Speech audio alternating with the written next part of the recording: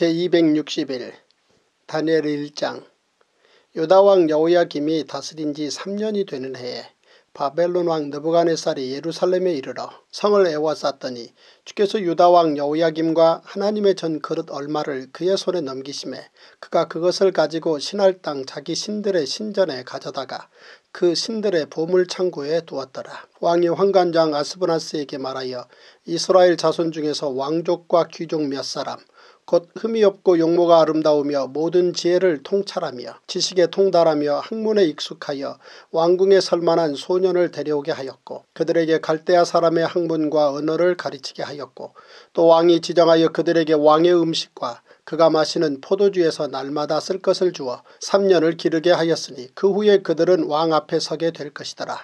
그들 가운데는 유다 자손 곧 다니엘과 하나냐와 미사엘과 아사랴가 있었더니 황관장이 그들의 이름을 고쳐 다니엘은 벨드사살이라 하고 하나냐는 사드락이라 하고 미사엘은 메삭이라 하고 아사랴는 아벤누고라 하였더라.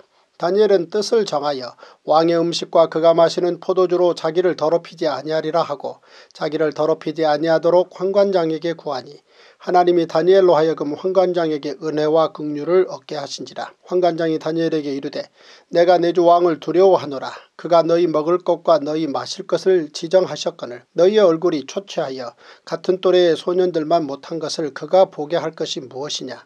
그렇게 되면 너희 때문에 내 머리가 왕 앞에서 위태롭게 되리라 하니라. 황관장이 다니엘과 하나냐와 미사엘과 아사라를 감독하게 한 자에게 다니엘이 말하되 청하오니 당신의 종도를 열흘 동안 시험하여 채식을 주어 먹게 하고 물을 주어 마시게 한 후에 당신 앞에서 우리의 얼굴과 왕의 음식을 먹는 소년들의 얼굴을 비교하여 보아서 당신이 보는 대로 종들에게 행하소서 하며 그가 그들의 말을 따라 열흘 동안 시험하더니 열흘 후에 그들의 얼굴이 더욱 아름답고 살이 더욱 윤택하여 왕의 음식을 먹는 다른 소년들보다 더 좋아 보인지라. 그리하여 감독하는 자가 그들에게 지정된 음식과 마실 포도주를 제하고 채식을 주니라. 하나님이 이 네 소년에게 학문을 주시고 모든 서적을 깨닫게 하시고 지혜를 주셨으니 다니엘은 또 모든 환상과 꿈을 깨달아 알더라. 왕이 말한 대로 그들을 불러들일 기한이 찼으므로 황관장이 그들을 느부갓네살 앞으로 데리고 가니 왕이 그들과 말하여 보매 무리 중에 다니엘과 하나냐와 미사엘과 아사랴와 같은 자가 없으므로 그들을 왕 앞에 서게 하고 왕이 그들에게 모든 일을 묻는 중에 그 지혜와 충명이 온 나라 박수와 술객보다 10배나 나은 줄을 아니라. 다니엘은 고레스 왕 원년까지 있으니라. 다니엘 2장 느부갓네살이 다스린 지 2년이 되는 해에 느부갓네살이 꿈을 꾸고 그로 말미암아 마음이 번민하여 잠을 이루지 못한지라. 왕이 그의 꿈을 자기에게 알려주도록 박수와 술객과 점쟁이와 갈대아 술사를 부르라 말하매 그들이 들어가서 왕의 앞에 선지라. 왕이 그들에게 이르되 내가 꿈을 꾸고 그 꿈을 알고자 하여 마음이 번민하도다 하니 갈대아 술사들이 아람말로 왕에게 말하되 왕이여 만수무강하옵소서. 왕께서 그 꿈을 종들에게 이르시면 우리가 해석하여 드리겠나이다 하는지라. 왕이 갈대인들에게 대답하여 이르되 내가 명령을 내렸나니 너희가 만일 꿈과 그 해석을 내게 알게 하지 아니하면 너희 몸을 쪼갤 것이며 너희의 집을 거름더미로 만들 것이요 너희가 만일 꿈과 그 해석을 보이면 너희가 선물과 상과 큰 영광을 내게서 얻으리라. 그런즉 꿈과 그 해석을 내게 보이라 하니 그들이 다시 대답하여 이르되 원하건대 왕은 꿈을 종들에게 이루소서. 그리하시면 우리가 해석하여 드리겠나이다 하니 왕이 대답하여 이르되 내가 분명히 아노라. 너희가 나의 명령이 내렸음을 보았으므로 시간을 지연하려 함이로다. 너희가 만일 이 꿈을 내게 알게 하지 아니하면 너희를 처치할 법이 오직 하나이니 이는 너희가 거짓말과 망령된 말을 내 앞에서 꾸며 말하여 때가 변하기를 기다리려 함이라. 이제 그 꿈을 내게 알게 하라. 그리하면 너희가 그 해석도 보일 줄을 내가 알리라 하더라. 갈대아인들이 왕 앞에 대답하여 이르되 세상에는 왕의 그 일을 보일 자가 한 사람도 없으므로 어떤 크고 권력 있는 왕이라도 이런 것으로 박수에게나 술객에게나 갈대아인들에게 물은 자가 없었나이다. 왕께서 물으신 것은 어려운 일이라 육체와 함께 살지 아니하는 신들 외에는 왕 앞에 그것을 보일 자가 없나이다 한지라. 왕이 이로 말미암아 진노하고 통분하여 바벨론의 모든 지혜자들을 다 죽이라 명령하니라. 왕의 명령이 내림에 제자들은 죽게 되었고 다니엘과 그의 친구들도 죽이려고 찾았더라. 그때 왕의 군의대장 아리옥이 바벨론 제자들을 죽이러 나가매 다니엘이 명철하고 슬기로운 말로 왕의 군의대장 아리옥에게 물어 이르되 왕의 명령이 어찌 그리 급하냐 하니 아리옥이 그 일을 다니엘에게 알림해 다니엘이 들어가서 왕께 구하기를 시간을 주시면 왕에게 그 해석을 알려드리리이다 하니라. 이에 다니엘이 자기 집으로 돌아가서 그 친구 하나냐와 미사엘과 아사랴에게 그 일을 알리고 하늘에 계신 하나님이 이 은밀한 일에 대하여 불쌍히 여기사 다니엘과 친구들이 바벨론의 다른 지혜자들과 함께 죽임을 당하지 않게 하시기를 그들로 하여금 구하게 하니라. 이에 이 은밀한 것이 밤의 환상으로 다니엘에게 나타나 보임에 다니엘이 하늘에 계신 하나님을 찬송하니라. 다니엘이 말하여 이르되 영원부터 영원까지 하나님의 이름을 찬송할 것은 지혜와 능력이 그에게 있음이로다. 그는 때와 계절을 바꾸시며 왕들을 패하시고 왕들을 세우시며 지혜자에게 지혜를 주시고 총명한 자에게 지식을 주시는도다. 그는 깊고 은밀한 일을 나타내시고 어두운 데 있는 것을 아시며 또 빛이 그와 함께 있도다. 나의 조상들의 하나님이여 주께서 이제 내게 지혜와 능력을 주시고 우리가 주께 구한 것을 내게 알게 하셨사오니 내가 주께 감사하고 주를 찬양하나이다. 곧 주께서 왕의 그 일을 내게 보이셨나이다 하니라. 이에 다니엘은 왕이 바벨론 제자들을 죽이라 명령한 아리옥에게로 가서 그에게 이같이 이르되 바벨론 제자들을 죽이지 말고 나를 왕의 앞으로 인도하라. 그리하면 내가 그 해석을 왕께 알려드리리라 하니 이에 아리옥이 다니엘을 데리고 급히 왕 앞에 들어가서 아뢰되 내가 사로잡혀온 유다 자손 중에서 한 사람을 찾아내었나이다. 그가 그 해석을 왕께 알려드리리이다 하니라. 왕이 대답하여 벨드사살이라 이름한 다니엘에게 이르되 내가 꾼 꿈과 그 해석을 내가 능히 내게 알게 하겠느냐 하니 다니엘이 왕 앞에 대답하여 이르되 왕이 물으신 바 은밀한 것은 지혜자나 술객이나 박수나 점쟁이가 능히 왕께 보일 수 없으되 오직 은밀한 것을 나타내실 이는 하늘에 계신 하나님이시라. 그가 느부갓네살 왕에게 후일에 될 일을 알게 하셨나이다. 왕의 꿈 곧 왕이 침상에서 머릿속으로 받은 환상은 이러하니이다. 왕이여 왕이 침상에서 장래일을 생각하실 때에 은밀한 것을 나타내시는 이가 장래일을 왕에게 알게 하셨사오며 내게 이 은밀한 것을 나타내심은 내 죄가 모든 사람보다 낫기 때문이 아니라 오직 그 해석을 왕에게 알려서 왕이 마음으로 생각하던 것을 왕에게 알려주려 하심이니이다. 왕이여 왕이 한 큰 신상을 보셨나이다. 그 신상이 왕의 앞에 섰는데 크고 광채가 매우 찬란하며 그 모양이 심히 두려우니 그 우상의 머리는 순금이요 가슴과 두 팔은 은이요 배와 넓적다리는 노시요 그 종아리는 쇠요 그 발은 얼마는 쇠요 얼마는 진흙이었나이다. 또 왕이 보신즉 손대지 아니한 돌이 나와서 신상의 쇠와 진흙의 발을 쳐서 부서뜨리매 그때 쇠와 진흙과 녹과 은과 금이 다 부서져 여름 타작마당에 겨같이 되어 바람에 불려 간 곳이 없었고 우상을 친 돌은 태산을 이루어 온 세계에 가득하였나이다. 그 꿈이 이러한 즉 내가 이제 그 해석을 왕 앞에 아르리이다. 왕이여 왕은 여러 왕들 중에 왕이시라. 하늘의 하나님이 나라와 권세와 능력과 영광을 왕에게 주셨고 사람들과 들짐승과 공중의 새들 어느 곳에 있는 것을 막론하고 그것들을 왕의 손에 넘기사 다 다스리게 하셨으니 왕은 곧 그 금머리니이다.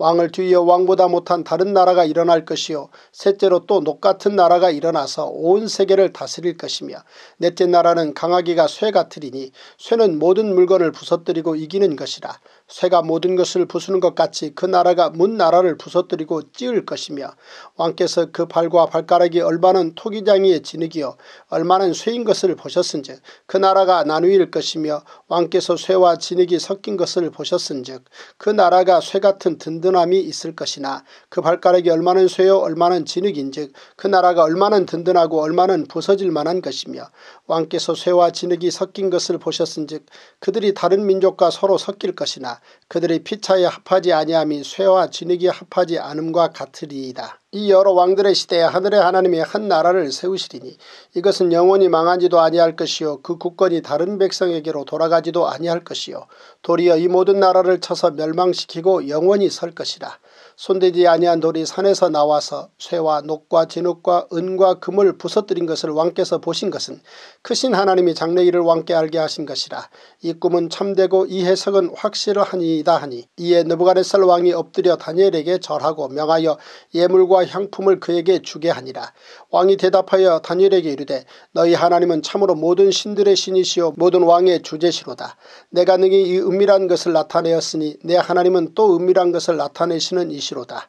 왕이 이에 다니엘을 높여 귀한 선물을 많이 주며 그를 세워 바벨론 온 지방을 다스리게 하며 또 바벨론 모든 지혜자의 어른을 삼았으며 왕이 또 다니엘의 요구대로 사드락과 메삭과 아벤누고를 세워 바벨론 지방의 일을 다스리게 하였고 다니엘은 왕궁에 있었더라. 제261일 다니엘 3장 느부갓네살 왕이 금으로 신상을 만들었으니 높이는 60규빗이요 너비는 6규빗이라. 그것을 바벨론 지방의 두라 평지에 세웠더라. 느부갓네살 왕이 사람을 보내어 총독과 수령과 행정관과 모사와 재무관과 재판관과 법률사와 각 지방 모든 관원을 느부갓네살 왕이 세운 신상의 낙성식에 참석하게 하며 이에 총독과 수령과 행정관과 모사와 재무관과 재판관과 법률사와 각 지방 모든 관원이 느부갓네살 왕이 세운 신상의 낙성식에 참석하여 느부갓네살 왕이 세운 신상 앞에 서니라.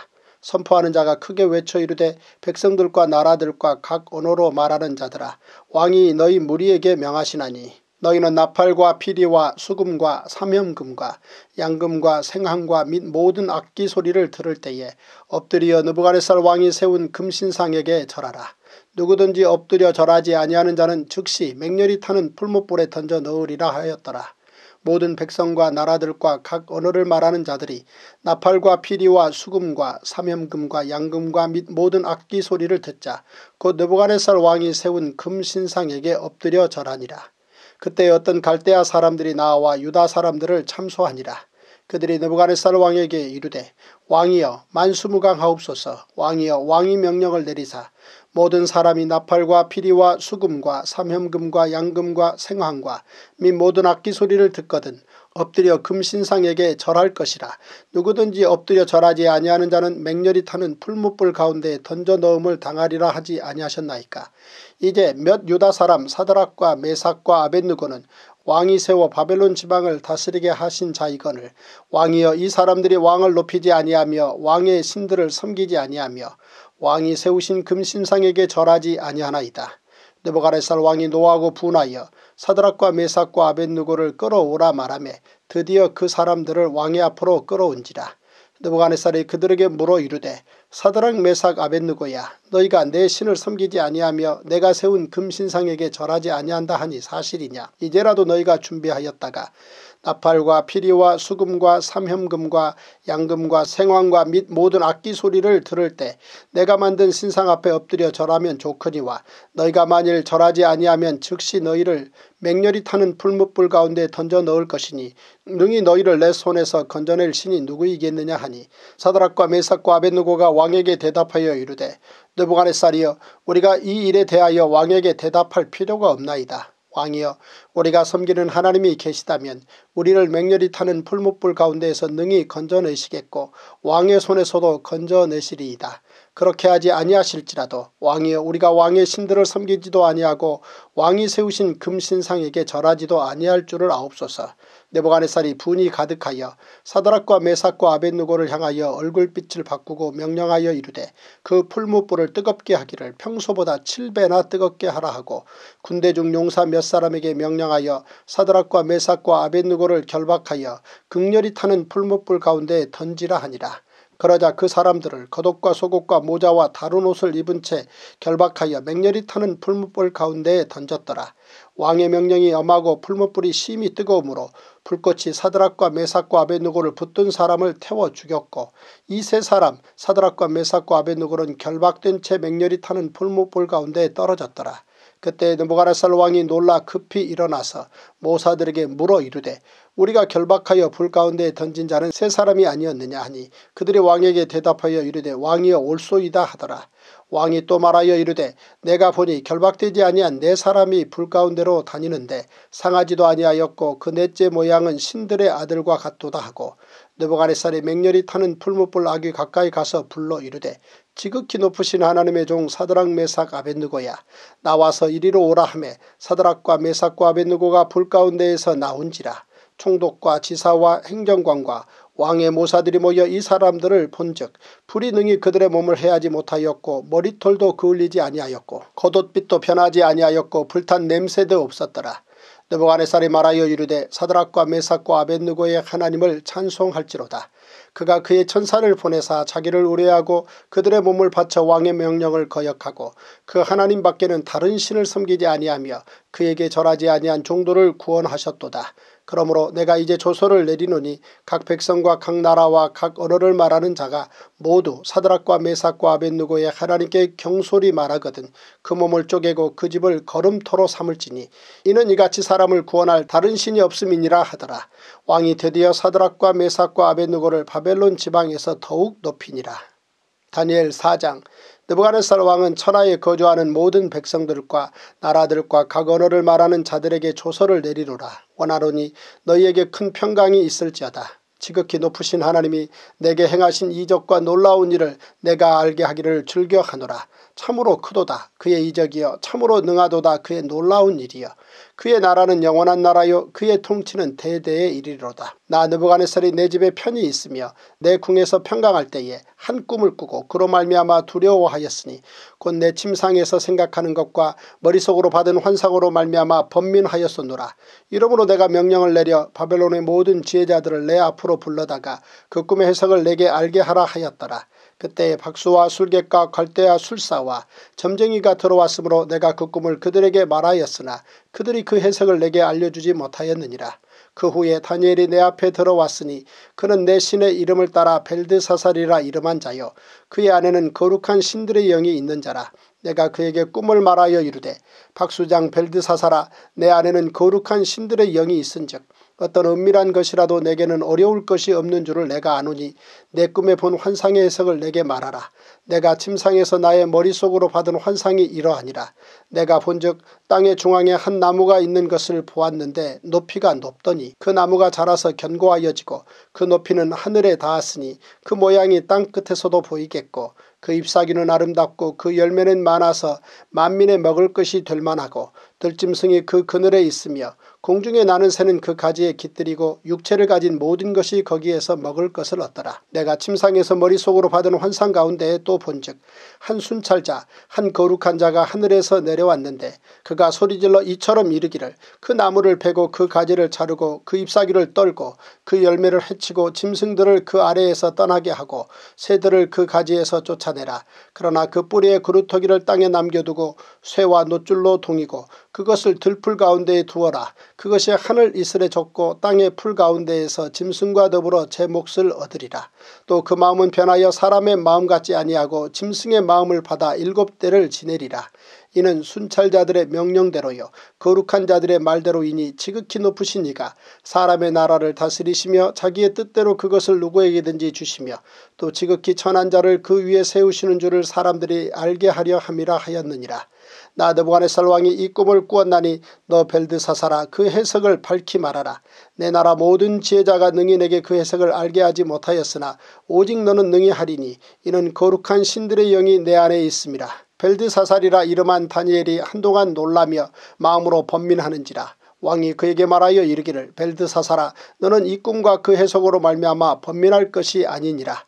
벨드사살이 대답하여 이르되 내 주여 그 꿈은 왕을 미워하는 자에게 응하며 그 해석은 왕의 대적에게 응하기를 원하나이다.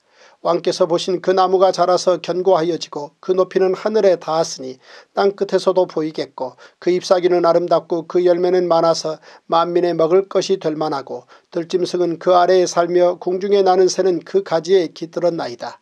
왕이여 이 나무는 곧 왕이시라. 이는 왕이 자라서 견고하여지고 창대하사 하늘에 닿으시며 권세는 땅끝까지 미치심이니이다. 왕이 보신즉 한 순찰자 한 거룩한 자가 하늘에서 내려와서 이르기를 그 나무를 베어 없애라. 그러나 그 뿌리의 그루터기는 땅에 남겨두고 쇠와 노줄로 동이고 그것을 들풀 가운데 두라. 그것이 하늘 이슬에 젖고 또 들짐승들과 더불어 제 몫을 얻으며 일곱 대를 지내리라 하였나이다. 왕이여 그 해석은 이러하니이다. 곧 지극히 높으신 이가 명령하신 것이 내주 왕에게 미칠 것이라. 왕이 사람에게서 쫓겨나서 들짐승과 함께 살며 소처럼 풀을 먹으며 하늘 이슬에 젖을 것이요 이와 같이 일곱 대를 지낼 것이라. 그때 지극히 높으신 이가 사람의 나라를 다스리시며 자기의 뜻대로 그것을 누구에게든지 주시는 줄을 아시리이다. 또 그들이 그 나무 뿌리에 그루터기를 남겨두라 하였은즉 하나님이 다스리시는 줄을 왕이 깨달은 후에야 왕의 나라가 견고하리이다. 그런즉 왕이여 내가 아뢰는 것을 받으시고 공의를 행함으로 죄를 사하고 가난한 자를 극률히 여김으로 죄악을 사하소서 그리하시면 왕의 평안함이 혹시 장구하리이다 하니라. 이 모든 일이 다 나 느부갓네살 왕에게 임하였느니라. 열두 달이 지난 후에 내가 바벨론 왕궁 지붕에서 거닐세 나 왕이 말하여 이르되 이 큰 바벨론은 내가 능력과 권세로 건설하여 나의 도성으로 삼고 이것으로 내 위엄의 영광을 나타낸 것이 아니냐 하였더니 이 말이 아직도 나 왕의 입에 있을 때에 하늘에서 소리가 내려 이르되 느부갓네살 왕아 내게 말하노니 나라의 왕위가 내게서 떠났느니라 내가 사람에게서 쫓겨나서 들짐승과 함께 살면서 소처럼 풀을 먹을 것이요 이와 같이 일곱 대를 지내서 지극히 높으신 이가 사람의 나라를 다스리시며 자기의 뜻대로 그것을 누구에게든지 주시는 줄을 알기까지 이르리라 하더라. 바로 그때 이 일이 나 느부갓네살에게 응함으로 내가 사람에게 쫓겨나서 소처럼 풀을 먹으며 몸이 하늘 이슬에 젖고 머리털이 독수리 털과 같이 자랐고 손톱은 새 발톱과 같이 되었더라. 그 기한이 참에 나 느부갓네살이 하늘을 우러러 보았더니 내 총명이 다시 내게로 돌아온지라 이에 내가 지극히 높으신 이에게 감사하며 영생하시는 이를 찬양하고 경배하였나니 그 권세는 영원한 권세요 그 나라는 대대에 이르리로다. 땅의 모든 사람들을 없는 것 같이 여기시며 하늘의 군대에게든지 땅의 사람에게든지 그는 자기 뜻대로 행하시나니 그의 손을 금하든지 혹시 이르기를 내가 무엇을 하느냐고 할 자가 아무도 없도다. 그때 내 충명이 내게로 돌아왔고 또 내 나라의 영광에 대하여도 내 위엄과 광명이 내게로 돌아왔고 또 나의 모사들과 관원들이 내게 찾아오니 내가 내 나라에서 다시 세움을 받고 또 지극한 위세가 내게 더하였느니라. 그러므로 지금 나 느부갓네살은 하늘의 왕을 찬양하며 칭송하며 경배하노니 그의 일이 다 진실하고 그의 행하심이 의로우심으로 교만하게 행하는 자를 그가 능히 낮추심이라. 제262일 다니엘 5장 벨사살 왕이 그의 귀족 천명을 위하여 큰 잔치를 베풀고 그 천명 앞에서 술을 마시니라. 벨사살이 술을 마실 때 명하여 그의 부친 느부갓네살이 예루살렘 성전에서 탈취하여 온 금은 그릇을 가져오라고 명하였으니 이는 왕과 귀족들과 왕후들과 후궁들이 다 그것으로 마시려 함이었더라. 이에 예루살렘 하나님의 전 성소 중에서 탈취하여 온 금그릇을 가져오매 왕이 그 귀족들과 왕후들과 후궁들과 더불어 그것으로 마시더라. 그들이 술을 마시고는 그 금, 은, 구리, 쇠, 나무, 돌로 만든 신들을 찬양하니라. 그때 사람의 손가락들이 나타나서 왕궁 촛대 맞은편 석회벽에 글자를 쓰는데 왕이 그 글자 쓰는 손가락을 본지라. 이에 왕의 줄기던 얼굴빛이 변하고 그 생각이 번민하여 넓적다리 마디가 녹는 듯하고 그의 무릎이 서로 부딪힌지라. 왕이 크게 소리질러 술객과 갈대아 술사와 점쟁이를 불러오게 하고 바벨론의 제자들에게 말하되 누구를 막론하고 이 글자를 읽고 그 해석을 내게 보이면 자주색 옷을 입히고 금사슬을 그의 목에 걸어주리니 그를 나라의 셋째 통치자로 삼으리라 하니라. 그때 왕의 지혜자가 다 들어왔으나 능히 그 글자를 읽지 못하며 그 해석을 왕께 알려주지 못하는지라. 그러므로 벨사살 왕이 크게 번민하여 그의 얼굴빛이 변하였고 귀족들도 다 놀라니라. 왕비가 왕과 그 귀족들의 말로 말미암아 잔치하는 궁에 들어왔더니 이에 말하여 이르되 왕이여 만수무강하옵소서 왕의 생각을 번민하게 하지 말며 얼굴빛을 변할 것도 아니니이다. 왕의 나라에 거룩한 신들의 영이 있는 사람이 있으니 곧 왕의 부친 때에 있던 자로서 명철과 총명과 지혜가 신들의 지혜와 같은 자니이다. 왕의 부친 느부갓네살 왕이 그를 세워 박수와 술객과 갈대아 술사와 점쟁이의 어른을 삼으셨으니 왕이 벨드사살이라 이름하는 이 다니엘은 마음이 민첩하고 지식과 충명이 있어 능히 꿈을 해석하며 은밀한 말을 밝히며 의문을 풀 수 있었나이다. 이제 다니엘을 부르소서 그리하시면 그가 그 해석을 알려드리리이다 하니라. 이에 다니엘이 부름을 받아 왕의 앞에 나오매 왕이 다니엘에게 말하되 내가 나의 부왕이 유다에서 사로잡아온 유다 자손 중에 그 다니엘이냐 내가 내게 대하여 들은즉 내 안에는 신들의 영이 있으므로 내가 명철과 총명과 비상한 지혜가 있다 하도다. 지금 여러 제자와 술객을 내 앞에 불러다가 그들에게 이 글을 읽고 그 해석을 내게 알게 하라 하였으나 그들이 다 그 해석을 내게 보이지 못하였느니라. 내가 내게 대하여 들은즉 너는 해석을 잘하고 의문을 푼다 하도다. 그런즉 이제 내가 이 글을 읽고 그 해석을 내게 알려주면 내게 자주색 옷을 입히고 금사슬을 내 목에 걸어주어 너를 나라의 셋째 통치자로 삼으리라 하니 다니엘이 왕에게 대답하여 이르되 왕의 예물은 왕이 친히 가지시며 왕의 상급은 다른 사람에게 주옵소서. 그럴지라도 내가 왕을 위하여 이 글을 읽으며 그 해석을 아르리이다. 왕이여 지극히 높으신 하나님이 왕에 붙인 느부갓네살에게 나라와 큰 권세와 영광과 위엄을 주셨고 그에게 큰 권세를 주셨으므로 백성들과 나라들과 언어가 다른 모든 사람들이 그의 앞에서 떨며 두려워하였으며 그는 임의로 죽이며 임의로 살리며 임의로 높이며 임의로 낮추었더니 그가 마음이 높아지며 뜻이 완악하여 교만을 행함으로 그의 왕위가 폐한바되며 그의 영광을 빼앗기고 사람 중에서 쫓겨나서 그의 마음이 들짐승의 마음과 같았고 또 들나귀와 함께 살며 또 소처럼 풀을 먹으며 그의 몸이 하늘 이슬에 젖었으며 지극히 높으신 하나님이 사람 나라를 다스리시며 자기의 뜻대로 누구든지 그 자리에 세우시는 줄을 알기에 이르렀나이다. 벨사살리여 왕은 그의 아들이 되어서 이것을 다 알고도 아직도 마음을 낮추지 아니하고 도리어 자신을 하늘의 주제보다 높이며 그의 성전 그릇을 왕 앞으로 가져다가 왕과 귀족들과 왕후들과 후궁들이 다 그것으로 술을 마시고 왕이 또 보지도 듣지도 알지도 못하는 금은 구리 쇠와 나무 돌로 만든 신상들을 찬양하고 도리어 왕의 호흡을 주장하시고 왕의 모든 길을 작정하시는 하나님께는 영광을 돌리지 아니한지라. 이러므로 그의 앞에서 이 손가락이 나와서 이 글을 기록하였나이다. 기록된 글자는 이것이니 곧 메네메네 대겔 우바르시니라. 그 글을 해석하건대 메네는 하나님이 이미 왕의 나라의 시대를 세워서 그것을 끝나게 하셨다 하며 대겔은 왕을 저울에 달아보니 부족함이 보였다 하며 베레스는 왕의 나라가 나뉘어서 메대와 바사 사람에게 준바되었다 함이니이다 하니 이에 벨사살이 명하여 그들이 다니엘에게 자주색 옷을 입히게 하며 금사슬을 그의 목에 걸어주고 그를 위하여 조서를 내려 나라의 셋째 통치자로 삼으니라. 그날 밤에 갈대아 왕 벨사살이 죽임을 당하였고 메대 사람 다리오가 나라를 얻었는데 그때 다리오는 62세였더라. 다니엘 6장 다리오가 자기의 뜻대로 고관 120명을 세워 전국을 통치하게 하고 또 그들 위에 총리 셋을 두었으니 다니엘이 그 중에 하나이라. 이는 고관들로 총리에게 자기의 직무를 보고하게 하여 왕에게 손해가 없게 하려 함이었더라.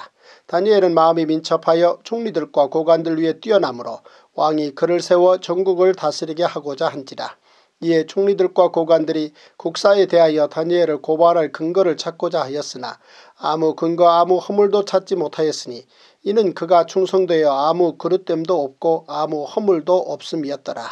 그들이 이르되 이 다니엘은 그 하나님의 율법에서 근거를 찾지 못하면 그를 고발할 수 없으리라 하고 이에 총리들과 고관들이 모여 왕에게 나아가서 그에게 말하되 다리오 왕이여 만수무강하옵소서 나라의 모든 총리와 지사와 총독과 법관과 관원이 의논하고 왕에게 한 법률을 세우며 한 금령을 정하실 것을 구하나이다. 왕이여 그것은 곧 이제부터 30일 동안에 누구든지 왕 외에 어떤 신에게나 사람에게 무엇을 구하면 사자굴에 던져넣기로 한 것이니이다. 그런즉 왕이여 원하건대 금령을 세우시고 그 조서에 왕의 도장을 찍어 메대와 바사에 고치지 아니하는 규례를 따라 그것을 다시 고치지 못하게 하옵소서 하며 이에 다리오 왕이 조서에 왕의 도장을 찍어 금령을 내니라.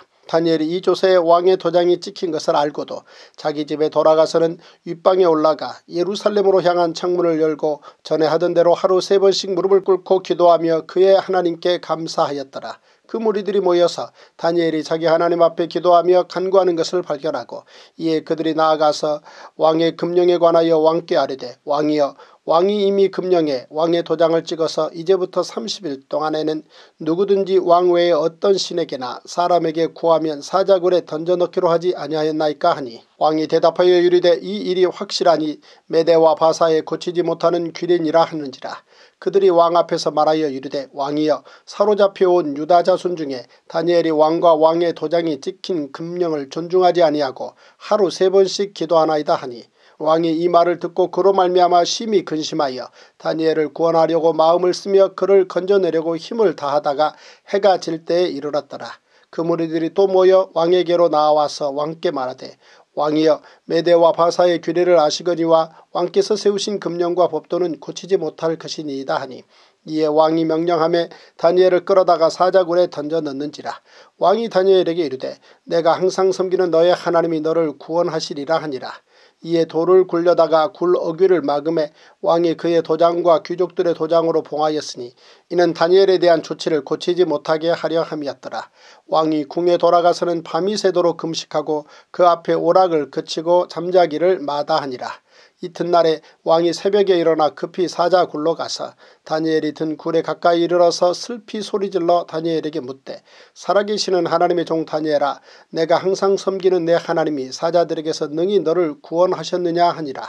다니엘이 왕에게 아뢰되 왕이여 원하건대 왕은 만수무강하옵소서 나의 하나님이 이미 그의 천사를 보내어 사자들의 입을 봉하셨으므로 사자들이 나를 상해하지 못하였사오니 이는 나의 무죄함이 그 앞에 명백함이 오며 또 왕이여 나는 왕에게도 해를 끼치지 아니하였나이다 하니라. 왕이 심히 기뻐서 명하여 다니엘을 굴에서 올리라 하매 그들이 다니엘을 굴에서 올린즉 그의 몸이 조금도 상하지 아니하였으니 이는 그가 자기의 하나님을 믿음이었더라. 왕이 말하여 다니엘을 참수한 사람들을 끌어오게 하고 그들을 그들의 처자들과 함께 사자굴에 던져 넣게 하였더니 그들이 굴 바닥에 닿기도 전에 사자들이 곧 그들을 움켜서 그 뼈까지도 부서뜨렸더라.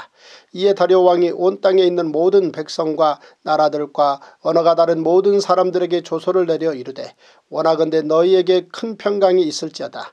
내가 이제 조서를 내리노라. 내 나라 관할 아래에 있는 사람들은 다 다니엘의 하나님 앞에서 떨며 두려워할지니 그는 살아계시는 하나님이시요 영원히 변하지 않으실 이시며 그의 나라는 멸망하지 아니할 것이요 그의 권세는 무궁할 것이며 그는 구원도 하시며 건져내기도 하시며 하늘에서든지 땅에서든지 이적과 기사를 행하시는 이로서 다니엘을 구원하여 사자의 입에서 벗어나게 하셨습니다 하였더라.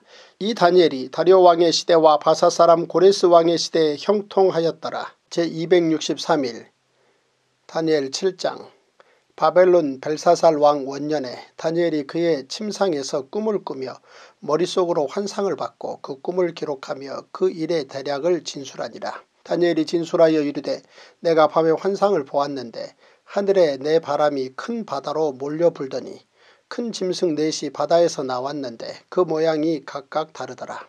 첫째는 사자와 같은데 독수리의 날개가 있더니 내가 보는 중에 그 날개가 뽑혔고 또 땅에서 들려서 사람처럼 두 발로 서게 함을 받았으며 또 사람의 마음을 받았더라. 또 보니 다른 짐승 곧 둘째는 곰과 같은데 그것이 몸 한쪽을 들었고 그 입의 이 사이에는 새 갈빗대가 물렸는데 그것에게 말하는 자들이 있어 이르기를 일어나서 많은 고기를 먹으라 하였더라. 그 후에 내가 또 본즉 다른 짐승 곧 표범과 같은 것이 있는데 그 등에는 새의 날개 넷이 있고 그 짐승에게 또 머리 넷이 있으며 권세를 받았더라. 내가 밤 환상 가운데 그 다음에 본 넷째 짐승은 무섭고 놀라우며 또 매우 강하며 또 쇠로 된 큰 이가 있어서 먹고 부서뜨리고 그 나머지를 발로 밟았으며 이 짐승은 전에 모든 짐승과 다르고 또 열 뿔이 있더라. 내가 그 뿔을 유심히 보는 중에 다른 작은 뿔이 그 사이에서 나더니 첫 번째 뿔 중에 셋이 그 앞에서 뿌리까지 뽑혔으며 이 작은 뿔에는 사람의 눈 같은 눈들이 있고 또 입이 있어 큰 말을 하였더라. 내가 보니 왕자가 놓이고 옛적부터 항상 계신 이가 좌정하셨는데 그의 옷은 희기가 눈 같고 그의 머리털은 깨끗한 양의 털 같고 그의 보좌는 불꽃이요 그의 바퀴는 타오르는 불이며 불이 강처럼 흘러 그의 앞에서 나오며 그를 섬기는 자는 천천히요 그 앞에서 모셔선 자는 만만이며 심판을 베푸는데 책들이 펴놓였더라. 그때 내가 작은 뿔이 말하는 큰 목소리로 말미암아 주목하여 보는 사이에 짐승이 죽임을 당하고 그의 시체가 상한 바 되어 타오르는 불에 던져졌으며 그 남은 짐승들은 그의 권세를 빼앗겼으나 그 생명은 보존되어 정한 시기가 이르기를 기다리게 되었더라. 내가 또 밤 환상 중에 보니 인자 같은 이가 하늘 구름을 타고 와서 옛적부터 항상 계신 이에게 나아가 그 앞으로 인도되며 그에게 권세와 영광과 나라를 주고 모든 백성과 나라들과 다른 언어를 말하는 모든 자들이 그를 섬기게 하였으니 그의 권세는 소멸되지 아니하는 영원한 권세요 그의 나라는 멸망하지 아니할 것이니라. 나 다니엘이 중심에 근심하며 내 머릿속의 환상이 나를 번민하게 한지라. 내가 그 곁에 모셔 선 자들 중 하나에게 나아가서 이 모든 일의 진상을 물음에 그가 내게 말하여 그 일의 해석을 알려주며 이르되 그 내 큰 짐승은 세상에 일어날 내 왕이라 지극히 높으신 이의 성도들이 나라를 얻으리니 그 누림이 영원하고 영원하고 영원하리라. 이에 내가 넷째 짐승에 관하여 확실히 알고자 하였으니 곧 그것은 모든 짐승과 달라서 심히 무섭더라. 그 이는 쇠요 그 발톱은 노시니 먹고 부서뜨리고 나머지는 발로 밟았으며 또 그것의 머리에는 열 뿔이 있고 그 외에 또 다른 뿔이 나오매 새 뿔이 그 앞에서 빠졌으며 그 뿔에는 눈도 있고 큰 말을 하는 입도 있고 그 모양이 그의 동류보다 커 보이더라. 내가 본즉 이 뿔이 성도들과 더불어 싸워 그들에게 이겼더니 옛적부터 항상 계신 이가 와서 지극히 높으신 이의 성도들을 위하여 원한을 풀어 주셨고 때가 이름에 성도들이 나라를 얻었더라. 모신 자가 이처럼 이르되 넷째 짐승은 곧 땅의 넷째 나라인데 이는 다른 나라들과는 달라서 온 천하를 삼키고 밟아 부서뜨릴 것이며 그 열불은 그 나라에서 일어날 열 왕이요 그 후에 또 하나가 일어나리니 그는 먼저 있던 자들과 다르고 또 새 왕을 복종시킬 것이며 그가 장차 지극히 높으신 이를 말로 대적하며 또 지극히 높으신 이의 성도를 괴롭게 할 것이며 그가 또 때와 법을 고치고자 할 것이며 성도들은 그의 손에 붙임받아 한 때와 두 때와 반 때를 지내리라. 그러나 심판이 시작되면 그는 권세를 빼앗기고 완전히 멸망할 것이요 나라와 권세와 온 천하 나라들의 위세가 지극히 높으신 이의 거룩한 백성에게 붙임받으리니 그의 나라는 영원한 나라이라. 모든 권세 있는 자들이 다 그를 섬기며 복종하리라. 그 말이 이에 그친지라. 나 다니엘은 중심에 번면하였으며 내 얼굴빛이 변하였으나 내가 이 일을 마음에 간직하였느니라. 다니엘 8장 나 다니엘에게 처음에 나타난 환상 후 벨사사왕 제3년에 다시 한 환상이 나타나니라. 내가 환상을 보았는데 내가 그것을 볼 때 내 몸은 엘람 지방 수산성에 있었고 내가 환상을 보기는 을레 강변에서이니라.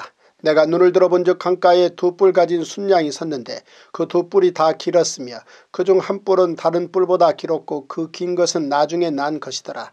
내가 본즉 그 순양이 서쪽과 북쪽과 남쪽을 향하여 받으나 그것을 당할 짐승이 하나도 없고 그 손에서 구할 자가 없으므로 그것이 원하는 대로 행하고 강하여졌더라.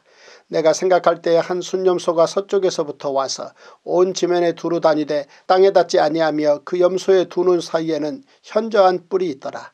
그것이 두 뿔 가진 순양 곧 내가 본 바 강가에 섰던 양에게로 나아가되 분노한 힘으로 그것에게로 달려가더니 내가 본즉 그것이 순양에게로 가까이 나아가서는 더욱 성내어 그 순양을 쳐서 그 두 뿔을 꺾으나 순양에게는 그것을 대적할 힘이 없으므로 그것이 순양을 땅에 엎드러뜨리고 짓밟았으나 순양을 그 손에서 벗어나게 할 자가 없었더라. 순념소가 스스로 심히 강대하여 가더니 강성할 때 그 큰 뿔이 꺾이고 그 대신에 현저한 뿔 넷이 하늘 사방을 향하여 났더라.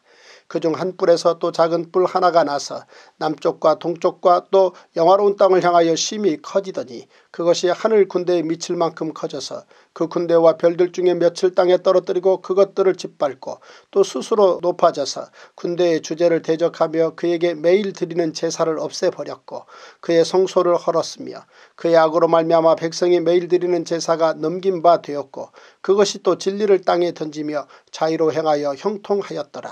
내가 들은즉 한 거룩한 이가 말하더니 다른 거룩한 이가 그 말하는 이에게 묻되 환상에 나타난 바 매일 드리는 제사와 망하게 하는 죄악에 대한 일과 성소와 백성이 내준바되며 짓밟힐 일이 어느 때까지 이룰고 하매 그간에게 이르되 2300주야까지니 그때의 성소가 정결하게 되리라 하였느니라. 나 다니엘이 이 환상을 보고 그 뜻을 알고자 할 때에 사람 모양 같은 것이 내 앞에 섰고 내가 들은즉 을레강 두 언덕 사이에서 사람의 목소리가 있어 외쳐 이르되 가브리엘아 이 환상을 이 사람에게 깨닫게 하라 하더니 그가 내가 선 곳으로 나왔는데 그가 나올 때 내가 두려워서 얼굴을 땅에 대고 엎드리매 그가 내게 이르되 인자야 깨달아 알라 이 환상은 정한 때 끝에 관한 것이니라.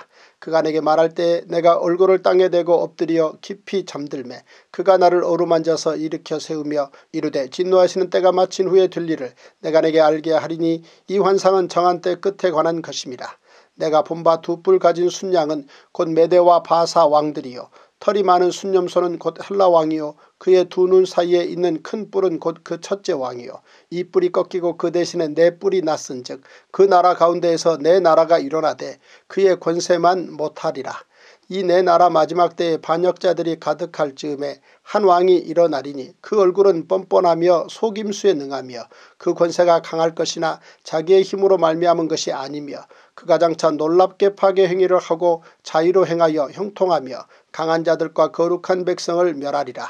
그가 꾀를 베풀어 제 손으로 속임수를 해가고 마음에 스스로 큰 채하며 또 평화로운 때에 많은 무리를 멸하며 또 스스로 서서 만왕의 왕을 대적할 것이나 그가 사람의 손으로 말미암지 아니하고 깨지리라. 이미 말한 바 주야에 대한 환상은 확실하니 너는 그 환상을 간직하라. 이는 여러 날 후의 일임이라 하더라. 이에 나 다니엘이 지쳐서 여러 날 알타가 일어나서 왕의 일을 보았느니라. 내가 그 환상으로 말미암아 놀랐고 그 뜻을 깨닫는 사람도 없었느니라. 다니엘 9장 메대족 속 아하수에로의 아들 다리오가 갈대아 나라 왕으로 세움을 받던 첫해 곧 그 통치 원년에 나 다니엘이 책을 통해 여호와께서 말씀으로 선지자 예레미야에게 알려주신 그 연수를 깨달았나니 곧 예루살렘의 황폐함이 70년 만에 그치리라 하신 것이니라.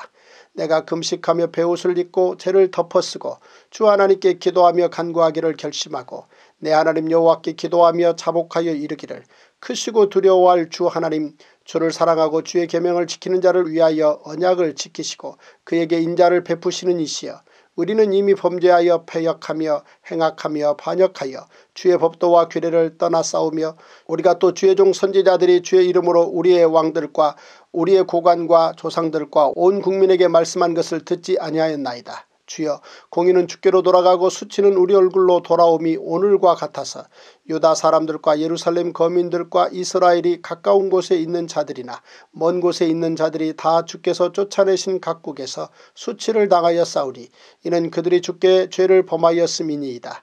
주여 수치가 우리에게 돌아오고 우리의 왕들과 우리의 고관과 조상들에게 돌아온 것은 우리가 주께 범죄하였음이니이다마는 주 우리 하나님께서는 국률과 용서하심이 있사오니 이는 우리가 주께 패역하였음이오며 우리 하나님 여호와의 목소리를 듣지 아니하며 여호와께서 그의 종 선지자들에게 부탁하여 우리 앞에 세우신 율법을 행하지 아니하였음이니이다.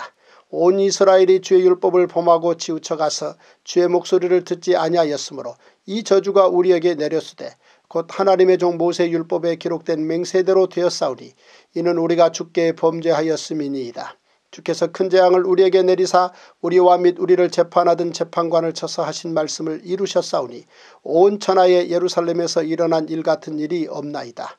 모세의 율법에 기록된 대로 이 모든 재앙이 이미 우리에게 내렸사오나 우리는 우리의 죄악을 떠나고 주의 진리를 깨달아 우리 하나님 여호와의 얼굴을 기쁘게 하지 아니하였나이다.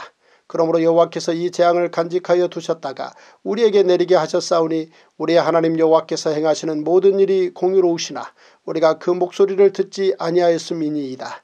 강한 손으로 주의 백성을 애굽 땅에서 인도하여 내시고 오늘과 같이 명성을 얻으신 우리 주 하나님이여 우리는 범죄하였고 악을 행하였나이다. 주여 구하옵나니 주는 주의 공의를 따라 주의 분노를 주의 성 예루살렘 주의 거룩한 산에서 떠나게 하옵소서. 이는 우리의 죄와 우리 조상들의 죄악으로 말미암아 예루살렘과 주의 백성이 사면에 있는 자들에게 수치를 당함이니이다. 그러하온즉 우리 하나님이여 지금 주의 종의 기도와 간구를 들으시고 주를 위하여 주의 얼굴빛을 주의 황폐한 성소에 비추시옵소서. 나의 하나님이여 귀를 기울여 들으시며 눈을 떠서 우리의 황폐한 상황과 주의 이름으로 일컫는 성을 보옵소서. 우리가 주 앞에 간구하옵는 것은 우리의 공의를 의지하여 하는 것이 아니요 주의 큰 긍휼을 의지하여 함이니이다. 주여 들으소서 주여 용서하소서 주여 귀를 기울이시고 행하소서 지체하지 마옵소서 나의 하나님이여 주 자신을 위하여 하시옵소서 이는 주의 성과 주의 백성이 주의 이름으로 일컫는 바 됨이니이다. 내가 이같이 말하여 기도하며 내 죄와 내 백성 이스라엘의 죄를 자복하고 내 하나님의 거룩한 산을 위하여 내 하나님 여호와 앞에 간구할 때 곧 내가 기도할 때 이전에 환상 중에 본 그 사람 가브리엘이 빨리 날아서 저녁 제사를 드릴 때쯤에 내게 이르더니 내게 가르치며 내게 말하여 이르되 다니엘아 내가 이제 내게 지혜와 총명을 주려고 왔느니라 곧 내가 기도를 시작할 즈음에 명령이 내렸으므로 이제 내게 알리러 왔느니라. 너는 크게 은총을 입은 자라. 그런즉 너는 이 일을 생각하고 그 환상을 깨달을지니라.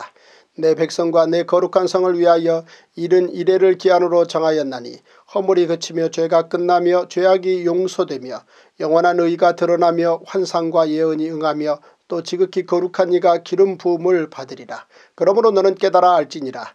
예루살렘을 중건하라는 영이 날 때부터 기름 부음을 받은 자 곧 왕이 일어나기까지 일곱 이래와 예순 두 이래가 지날 것이요 그 곤란한 동안에 성이 중건되어 광장과 거리가 세워질 것이며 예순 두 이래 후에 기름 부음을 받은 자가 끊어져 없어질 것이며 장차 한 왕의 백성이 와서 그 성읍과 성소를 무너뜨리려니와 그의 마지막은 홍수의 휩쓸림 같을 것이며 또 끝까지 전쟁이 있으리니 황폐할 것이 작정되었느니라.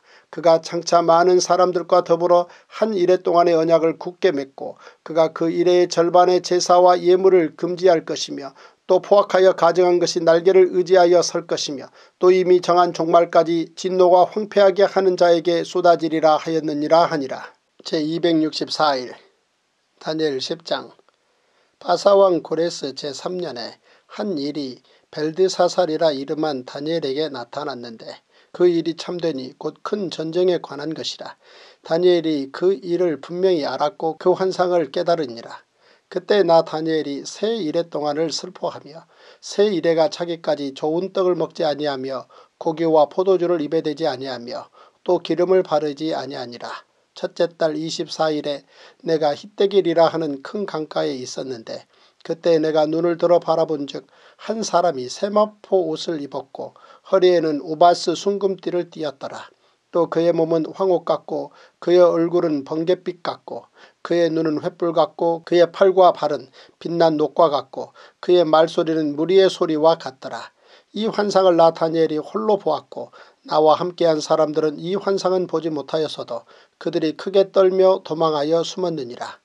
그러므로 나만 홀로 있어서 이 큰 환상을 볼 때에 내 몸에 힘이 빠졌고 나의 아름다운 빛이 변하여 썩은 듯하였고 나의 힘이 다 없어졌으나 내가 그의 음성을 들었는데 그의 음성을 들을 때 내가 얼굴을 땅에 대고 깊이 잠들었느니라.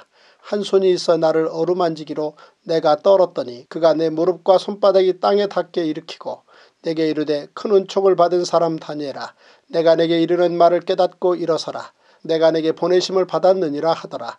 그가 내게 이 말을 한 후에 내가 떨며 일어서니 그가 내게 이르되 다니엘아 두려워하지 말라. 내가 깨달으려 하여 내 하나님 앞에 스스로 겸비하게 하기로 결심하던 첫날부터 내 말이 응답받았으므로 내가 내 말로 말미암아 왔느니라.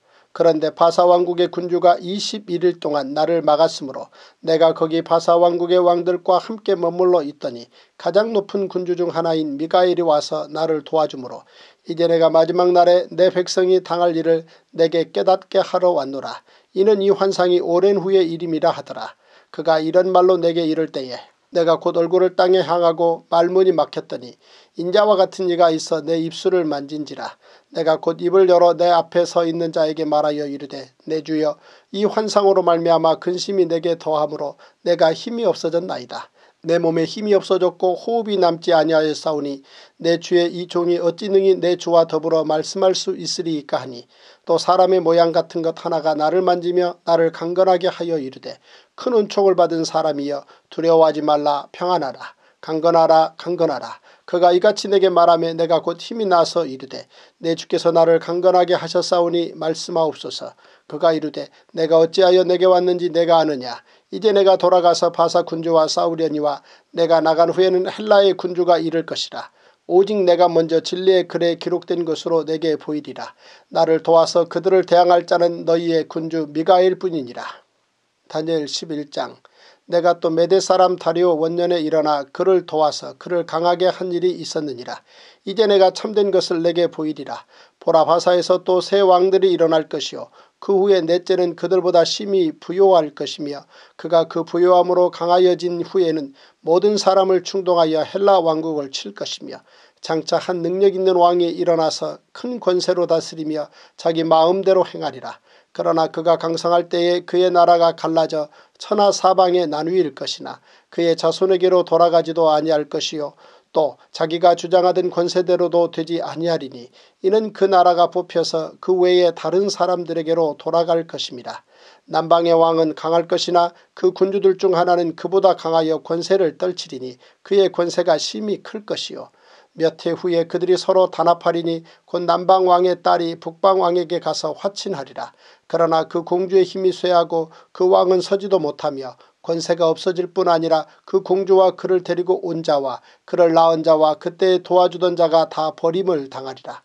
그러나 그 공주의 본 족속에게서 난 자 중에 한 사람이 왕위를 이어 권세를 받아 북방왕의 군대를 치러 와서 그의 성에 들어가서 그들을 쳐서 이기고 그 신들과 부어 만든 우상들과 은과 금의 아름다운 그릇들은 다 노력하여 애굽으로 가져갈 것이요 몇 해 동안은 그가 북방왕을 치지 아니하리라.